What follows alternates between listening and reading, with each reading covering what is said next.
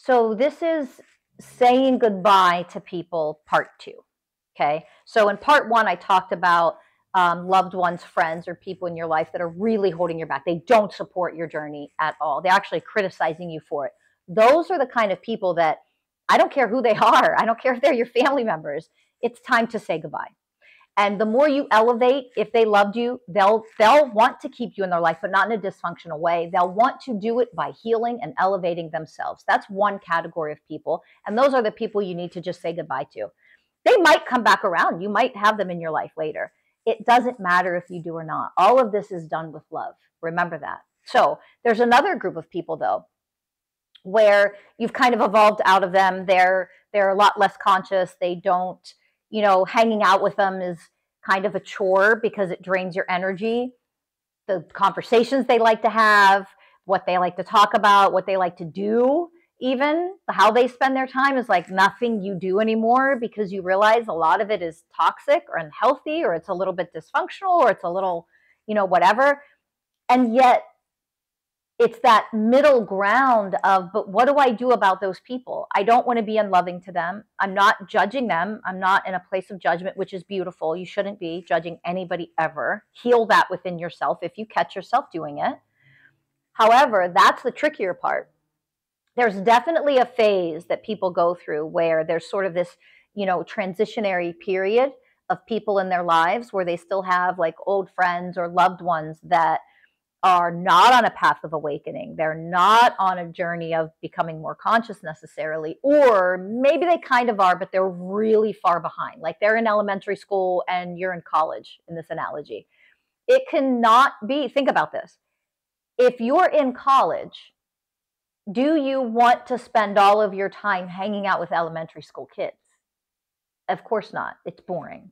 It's like what you want to do to play and have fun is not what I want to do to play and have fun. Like, you know, we're we're in different grades. So I want you to remember that. Now, can it be very loving? Can it be very enlightening to spend time with elementary school kids, your cousins, family, your friends' kids or something sometimes? It can be wonderful sometimes. It is also a way for you to actually elevate higher. Why? Because I don't really want to do this I don't really want to be here with you. It isn't personal. It's not a judgment. You're not judging them and labeling them as inferior.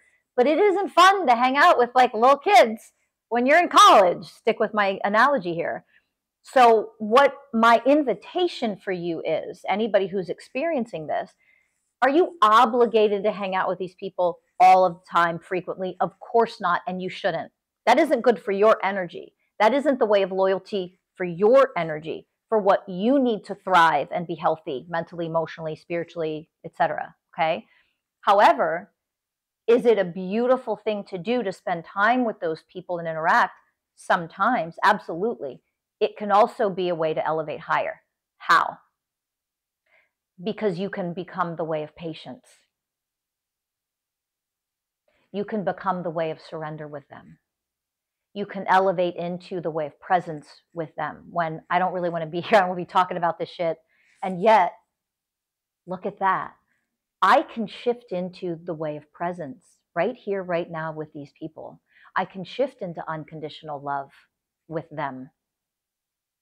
I can become a more elevated being by being around people that I it's not personal, but I don't really want to do this anymore. I don't want to hang out with anymore. This just isn't my thing anymore. We don't have anything in common anymore.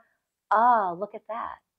And yet, if I show up in the vibrational frequency as the way of presence for them, it is a gift to everybody in the room. I can show them vibrationally what the way of presence is without ever talking about it or saying a word. I can become the way of surrender, the way of patience for them. I can become the way of harmlessness and gentleness with them, which means I'm never judging them, even though they're in elementary school, I'm in college. You see it? That is an invitation to actually become more elevated. The way of loyalty to your divinity, to your health, to your peace of mind is how little or how much you're going to do that. And that is going to be unique to every person listening. So use it as a way to elevate. What a gift you are when you can show up for somebody with patience, with presence, with compassion, with the way of connection. You're connecting to them from your divinity. Love, no strings attached. There's no egoic attachment here. There's no expectation here. Oh, what a gift. So become the ways of oneness in this scenario.